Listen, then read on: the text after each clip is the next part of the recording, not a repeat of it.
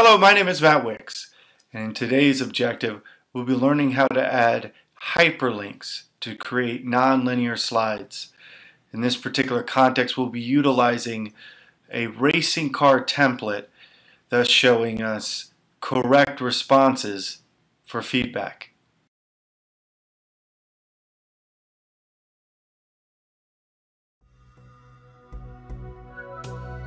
You must be asking yourself, how do we do this? And what is nonlinear?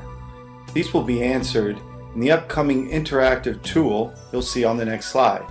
Once finished, please continue to the tutorial and we'll learn more.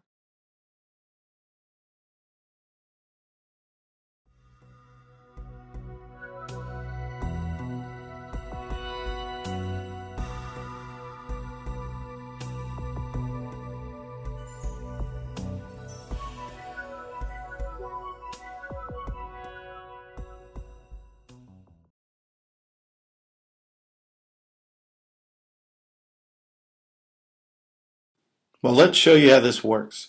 As you can see on the page here, we have a multiple choice question um, asked with two action buttons as the responses.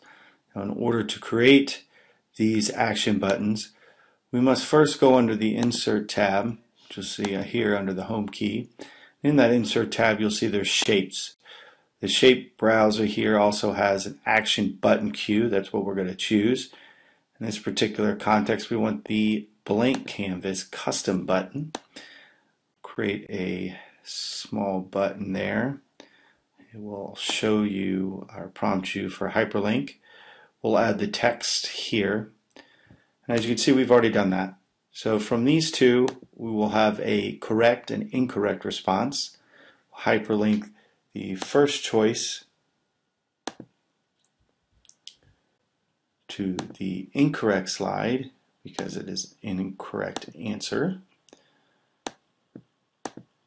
That's going to be our slide 7, Sorry You Lose. And we'll play a sound.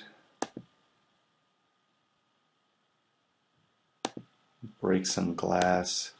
And then the correct answer, we'll hyperlink that to slide 6.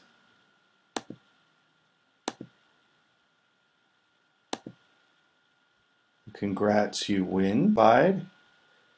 And in that slide, we'll have a sound of applause. If done correctly, you should be able to play the slideshow.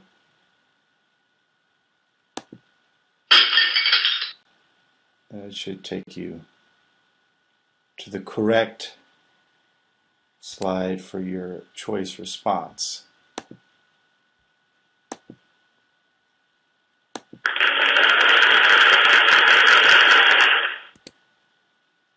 And there you have it. I wish you luck in making your hyperlinks with action buttons.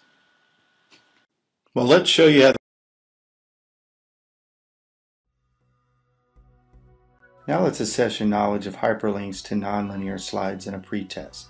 You may participate in these assessments as many times until you feel comfortable with the material. Once you are ready to continue, press the simulation button to put your knowledge to application.